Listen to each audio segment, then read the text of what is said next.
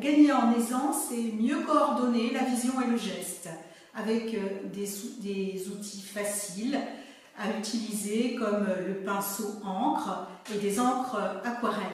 Également des, mines graphiques.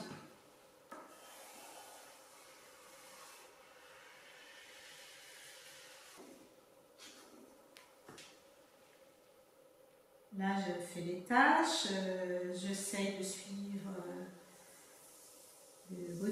euh, que j'ai dessiné précédemment.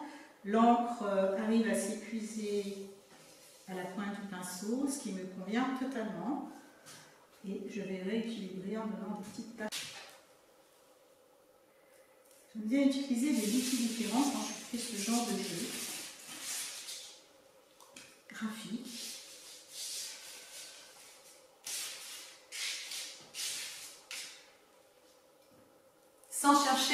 Le moindre résultat, juste me laisser guider au fil de la présence en fonction de ce qui se passe.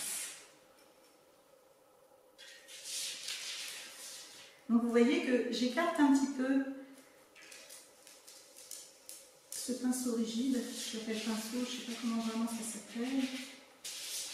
Important d'avoir toujours la main levée sur, euh, sur le travail et à la fois les yeux extrêmement au bout, acérés au bout de l'outil, mais également des alternances euh, de vision détail et de vision globale pour pouvoir composer en fonction de ce que vous avez envie. Alors un autre outil que j'aime beaucoup, c'est euh, le pinceau de cuisine. Alors aussi bien pour faire des tâches que pour faire du motif. Là, le balayage avec les différents euh, dire, bouts en plastique euh, va être plus souple qu'avec l'outil précédent qui est un outil assez rigide. Mais les effets sont tout aussi intéressants. C'est à vous de décider. Un autre pinceau que j'aime beaucoup, c'est celui-ci qui a des poils très très longs et cette fois-ci, ben, je vais à la fois faire du graphisme avec la pointe, mais également je peux faire de l'épaisseur en le décalant légèrement.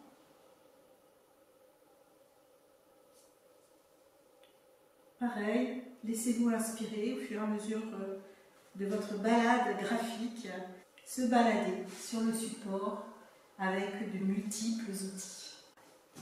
Voici aussi un outil intéressant, le pinceau éventail. Le pinceau éventail peut être utilisé de la même façon que les autres, parce que les poils sont bien en justement. Et c'est à vous de décider du geste que vous allez appliquer. Appuyé, léger, lent, rapide. Décidez du jeu.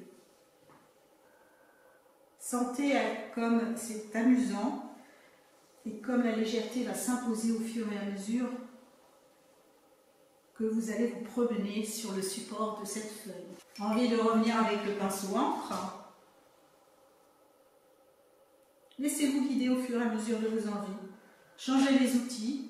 La main une forme, la, la main a une forme d'intelligence et elle va suivre, elle va se régler en fonction de ce que vous voyez et en fonction de ce que vous sentez au bout des doigts. Faites confiance. Changez souvent d'outil et voyez. Et le fait de lâcher le résultat, inutile de vous dire que cela détend énormément et ça vous permet de gagner aussi en liberté. Aisance, liberté, coordination euh, de la vision et de la main. Donc ce sont des exercices absolument faciles et à la portée de tous pour se faire plaisir et pour avancer dans la liberté.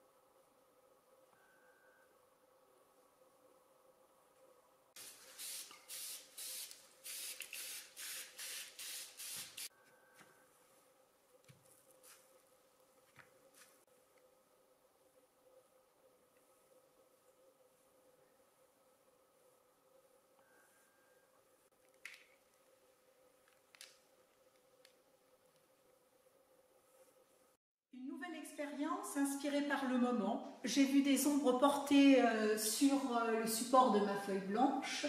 Eh bien, je vais m'amuser tout simplement à suivre ces ombres avec euh, un pinceau encre de l'encre de Chine.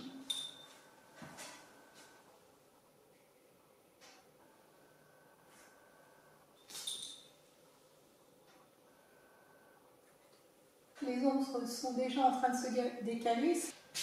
C'est toujours intéressant de, passer euh, du plat au vertical. Et vous pourriez même essayer de faire des expériences au sol. Changer ses habitudes, changer ses rythmes, se laisser inspirer par l'instant trouver une liberté dans le geste synchrone avec le regard. On lâche la notion de résultat.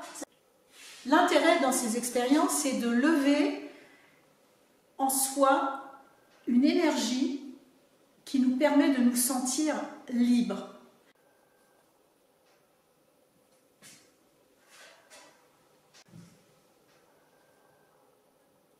J'ai beaucoup de mal maintenant à voir euh, les ombres portées. Ça n'a aucune importance.